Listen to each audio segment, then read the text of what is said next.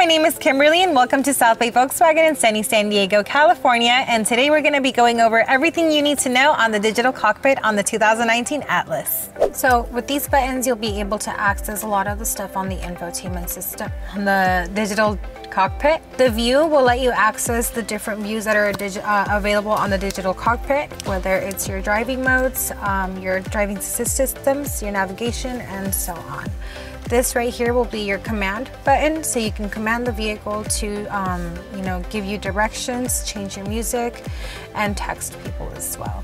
These are going to be your up and down buttons. So whenever you're going from window to window, which will be these silver buttons right here, and there, there's going to be different options that you can move up and down with, which will be these buttons that you'll be able to um, go within the, the tab. So this is the digital dash on the Atlas. On the digital dash, you will be able to access a lot of the information on your vehicle. So for example, you can access the driving data coming from your speed warning to your oil temperature, your speed, average speed, distance, travel time, and so on. Now if you click on over on these windows, this is how you will be able to access all the different features and all the different windows. This right here is going to be your assist system, which will allow you to click your lane assist, blind spot monitor, rear traffic alert, front assist. You can turn these off at any time and they will stay off if you turn off the vehicle. Um, you can go ahead and put them back on. Right now they are all on. If you go ahead and take them off, they will be deactivated and it'll let you know before you go ahead and actually deactivate it.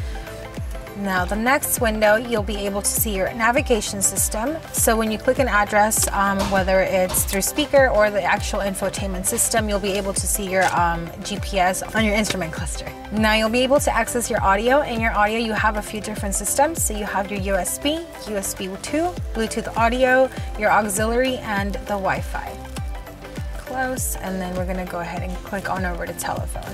When you connect your phone, you'll be able to access your calls on this screen right here. And then that right there will be your vehicle status. So if a door is open, it'll let you know exactly which door is open or um, if there's anything going on with the car, everything will be right there on the vehicle status, which will be your opening window. So to change the actual dials, you'll be able to click view right here and then there you will be able to change it from your driving assist systems to your navigation, which will give you that view right there, your economy, your economy and range, your gear and speed, and the classic view.